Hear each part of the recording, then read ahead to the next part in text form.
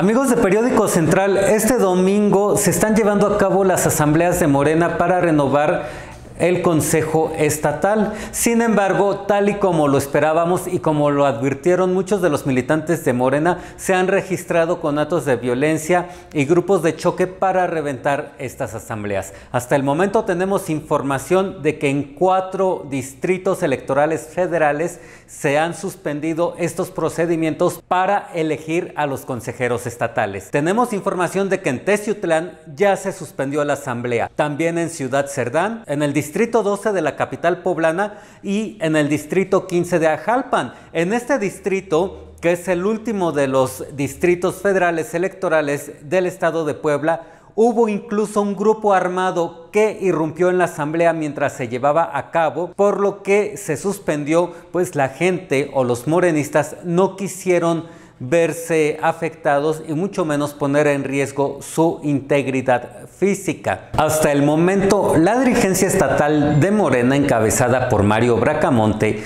no ha fijado alguna postura al respecto, ni ha dicho si se va a continuar con el procedimiento o se suspenden todas las asambleas.